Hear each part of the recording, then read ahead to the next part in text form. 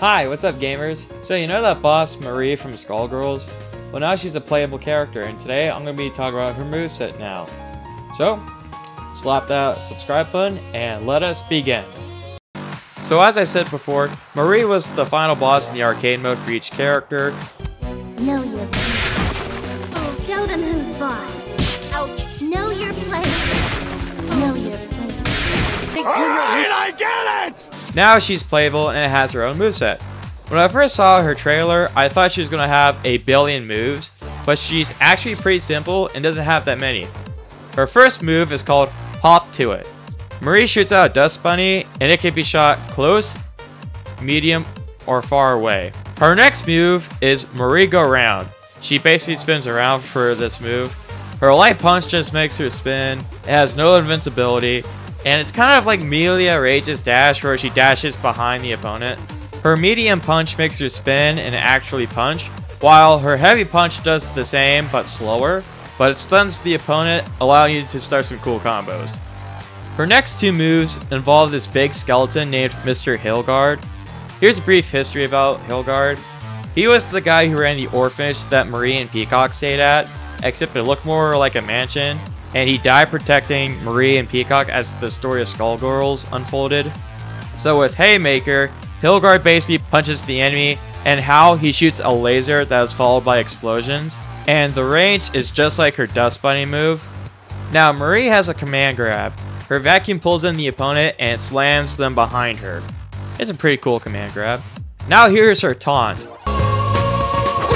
Glad you could make it. Lovely to see you. Off your feet! I'll just be a moment. I think it's nice that there's different ghosts, so you won't be getting the same one over and over again. Adds a nice variety to it. Now, let's get on to her normals. Here's her light punch, medium punch, and heavy punch. Here's her light kick, medium kick, and heavy kick. Here's her low light, medium, and heavy punch and her low, light, medium, and heavy kick.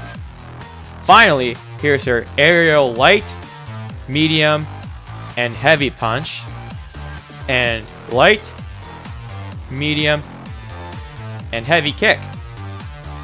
Now, let me show you her supers. She's got three of them. Her first one is called Carpal Pummel. It's a huge skeleton fist that comes down and only costs one bar. Her other super is a grab for the most part. It's called Repetitive Skeleton Impact. A huge hand grabs the enemy, but then you press up, down, left, or right to slam them around.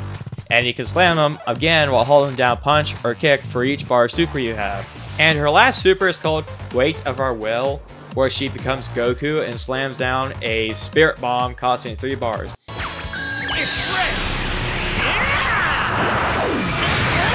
And you can do it in the air if you like.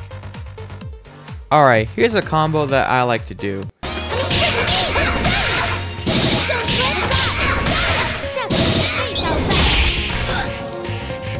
Also, if you land the command grab, you can then follow up with Carpal Pummel or Goku Spirit Bomb, but not the Skeleton Impact.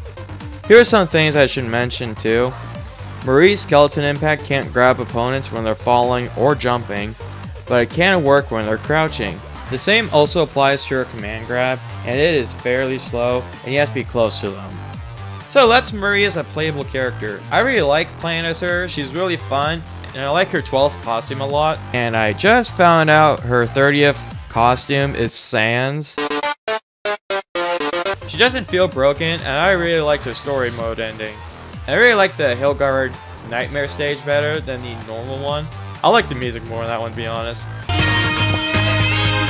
Off your feet! What's that? Lovely to see you. Oh, welcome home. I'll just be a moment.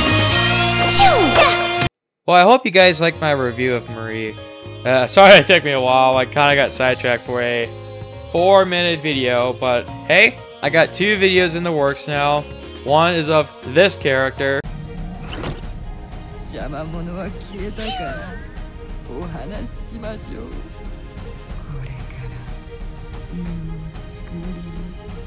and the other is of this game. I'd know for sure you had no sense of taste. What? Oh, nothing. So hey, have a nice day, guys, and I'll catch you later. Ciao.